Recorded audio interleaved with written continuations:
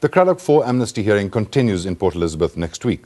If Harold Snyman does testify, he may disclose dramatic new details of the chain of command. We'll have to see what the doctors say. It is difficult for all of us to listen to former policemen and other perpetrators confess to the terrible truth about murder and torture. One cannot even imagine the pain the family members and survivors must go through. But what does this process of remembering the past do to the perpetrators and their families? And what makes someone do such terrible things in the name of patriotism and war? Professor Dan Bar-On is a psychologist from Israel who works with the children of Nazi perpetrators and the children of Jews who survived the death camps of Germany. We spoke to him about what we can learn from that experience. We know what uh, unbelievable mechanisms of repression, of forgetting, of distortion perpetrators use of justification in order not to remember what they have done. When the victims come and tell their stories, it reminds, it can remind the perpetrators of what they have done. And it's a very difficult confrontation, which really, I admire your process that you're doing it. I think it has never been done before in such a way. If we know about process of amnesties from the South American countries, it was not done on an individual basis. It was not done with names and stories. And I think this uh, makes the process here uh, such an amazing process, which will be for your coming generation is something to learn from, because through these stories they will really know what has happened.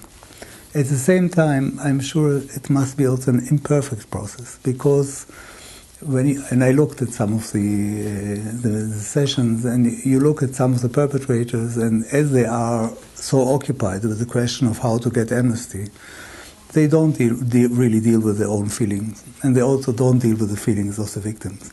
And some of the victims get very upset with it. So these processes can't go so fast. They need much more time. You know, there are psychological tools which can uh, divide people into different pathologies, and uh, we can we know that some people are have this pathology and other pathology, and clearly some a small proportion of the perpetrators uh, have these pathologies. I mean, some of them are really sadists, but it's relatively a very small proportion. I would assume, on based on, on of what I know from from our work with Nazi perpetrators, there, may be 5% of them. All the others, there is no psychological test which could identify ahead of time that these people would become perpetrators. What that actually means that maybe under certain circumstances, with a certain way of training, with a certain socialization, with a certain infrastructure of ideology, of power structure, almost every, every one of us could become to some extent, a perpetrator.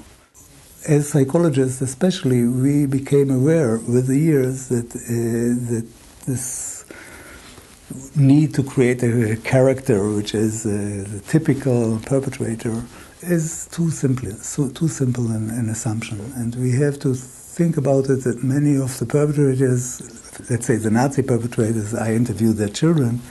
They were very nice uh, parents to their children. Some of them were very polite people. Some of them, after the war, trained their children not to lie and not to steal and so on. So, these, this mixture in, in, in people, this, these contradictions in people, people probably are not made out of one thing, but have different parts which sometimes don't fit together. And under such circumstances, some part of a person can be led to do such horrible things where other parts may be still functioning within the normal social setting.